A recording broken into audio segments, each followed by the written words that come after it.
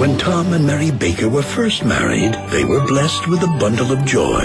Is Jake your only child? Uh, no, we have 12. I couldn't keep her off me.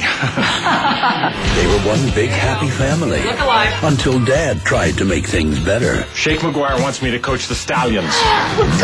My whole life is here at Midland. I'm not moving. I promise you, we will be a happier, stronger family. Sounds wicked boring. Now, I got him. I, oh, I got him. things are getting a little tougher. They asked me to go to New York for a few days. I can handle this. Clean up on aisle 12. You'll need help cleaning up here. Life's turning a bit crazier. Have you seen my front Dad? Sorry, Charlie. Uh, Nigel. Kyle. It's Mark. I knew that.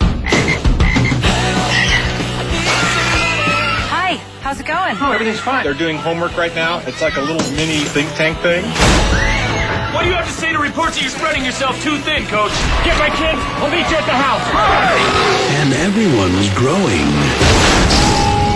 a whole lot closer. Twelve kids later, and we still got the heat.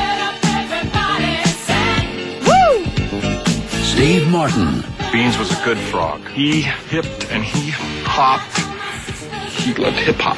Bonnie Hunt, Nora, honey, you want to help me in the kitchen get a pie? Look at a picture of Grandma, say the rosary. Nora, stop! Hilary Duff, I've benefited from your salary spike in various shallow, nonetheless pleasing ways, but things are getting pretty twisted around here. Tom Welling, In by 10 on school nights. Clear? Got it. Anything else you want to talk about? Did I mention I don't like you very much? Yeah, you mentioned that. yeah. Then I'm good. and Piper Perabo. They're welcoming you into the family. They set me on fire.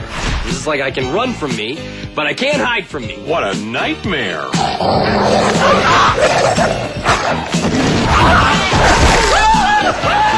You soaked his underwear in meat. Funny? But wrong. Cheaper by the dozen.